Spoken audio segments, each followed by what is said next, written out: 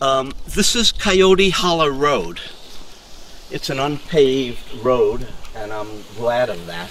And this is the road those guys were walking up.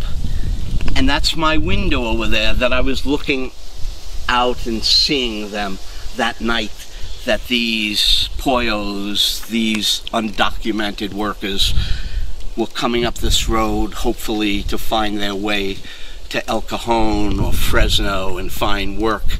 Uh, all these people are sending money back to their wives. They're here to work.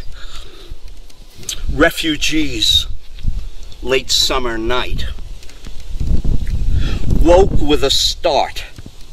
The dogs barking out by the fence. Yard flooded with light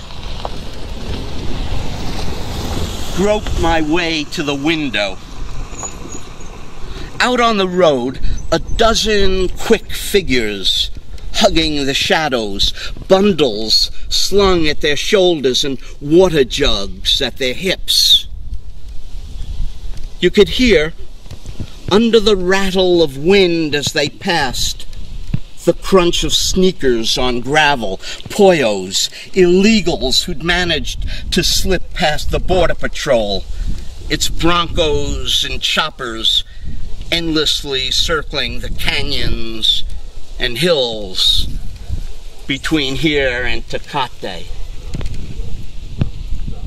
Out there in the dark, they could have been anyone refugees from Rwanda, slaves pushing north, Palestinians, gypsies, Armenians, Jews.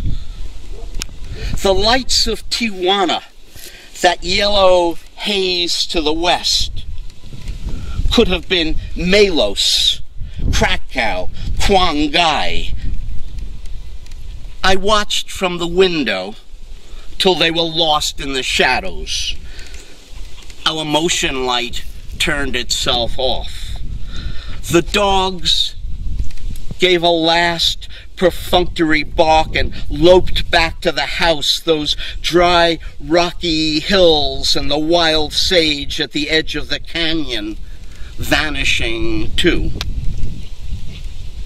Then stared out at nothing no sound anymore but my own breath and the papery click of the wind in the leaves of that parched eucalyptus.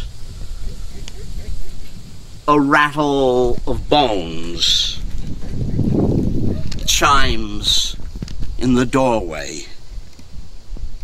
History riffling its pages.